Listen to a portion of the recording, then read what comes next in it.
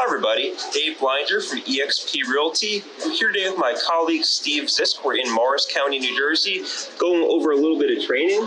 Steve, can you tell us what type of material we're reviewing today?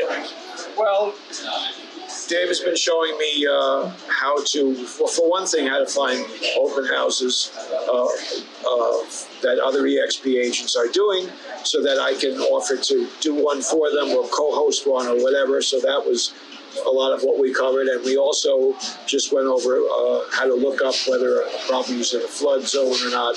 Uh, and, and, and a lot of other tax information about properties like uh, annual taxes and, and uh, septic tanks and, you know, all of that kind of thing. So we've, we've covered quite a bit in the last half hour or so. Okay, perfect. If you need help uh, buying or selling a home, just let Steve or myself know.